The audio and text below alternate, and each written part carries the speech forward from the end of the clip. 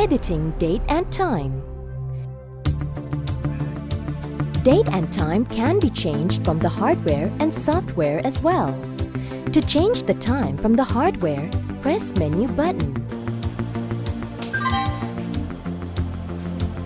Select date time and press the OK button.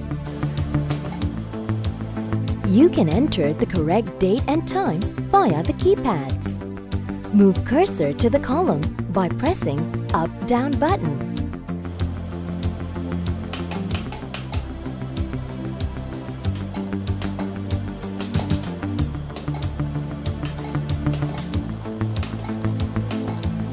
The date is displayed in year, month and day.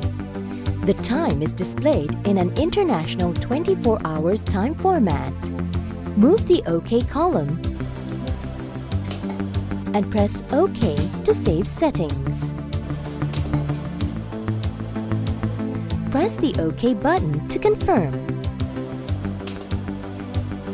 Press the Escape button once to return to the main menu.